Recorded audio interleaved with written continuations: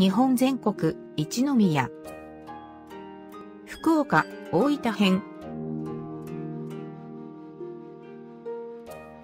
日本には8万社を超える神社があると言われています。中でもその国で最も高い格式を誇るのが一宮。今回は福岡県、大分県の一宮6社を紹介します。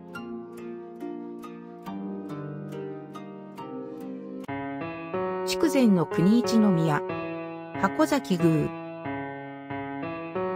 福岡県福岡市にある箱崎宮。創建は921年と伝わる。第15代王神天皇。その母の神宮皇后と、初代神武天皇の母、玉頼姫を祀る。13世紀に猛虎襲来という未曾有の困難に打ち勝ったことから、厄除け、将運の神とされる。本殿、拝殿は1546年の建造。楼門は敵国降伏の変額を掲げ、福敵門とも呼ばれる。本殿の近くから1の鳥居、2の鳥居と数え、参道は海まで続く。筑前の国一宮、住吉神社。福岡県福岡市にある住吉神社。創建は1800年以上前に遡る。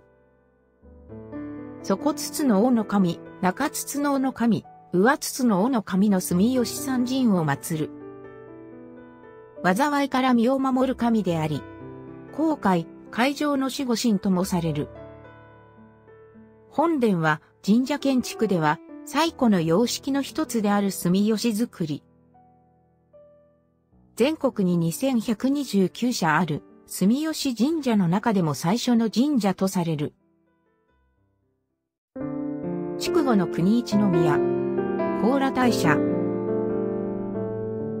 福岡県久留米市にある高羅大社。1600年以上前の創建。二の鳥居からも登れるがかなり疲れる。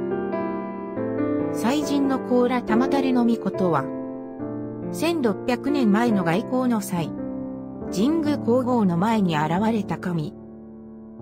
生活全般を守る神で、武運長級の神ともされる。幅17メートル奥行き32メートルある社殿は、神社建築として九州最大級。美濃山地の西端に位置する、高羅山の中腹にあり、境内からは筑紫平野を一望できる。山中には山系道も多く通る。武前の国一の宮、宇佐神宮。大分県宇佐市にある宇佐神宮。約50万平方メートルある広大な境内には、上宮、下宮の他多数の社殿がある。一の御殿は725年創建。第15代王神天皇の神霊である八万狼が祀られる。733年創建の2の御殿には姫狼。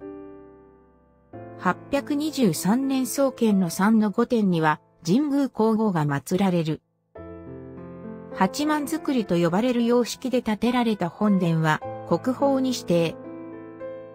下宮は824年の創建。上宮の後に参拝するのが慣習。宇佐神宮の参拝作法は、二礼、四拍手、一礼。全国に4万社余りある八幡宮の総本宮である。文後の国一の宮、梼原八幡宮。大分県大分市にある梼原八幡宮は827年の創建。祭神は第15代王神天皇と、その父母である第14代中愛天皇、神宮皇后。厄除け、海運の神。諸産業の守護神として信仰される。靴を脱いで回廊から楼門に入り、拝殿の前に正座して参拝する。本殿は平入り、二等連結の典型的な八幡作り。参道の石段脇には目通り21メートルの大楠がそびえ立つ。文後の国一宮。笹牟田神社。大分県大分市にある笹牟田神社は、278年の創建。竹の内の宿根が笹牟田山に宮殿を建てたのが起源。祭神の笹牟田の狼は月読みの御事。天照大御神。天の押穂耳の御事の総称。月読みの御事は心の神。精神安定の神とされる。1408年に現在地に移。古来より当地の有力武将からの信仰が厚い神社。ぜひご参拝ください。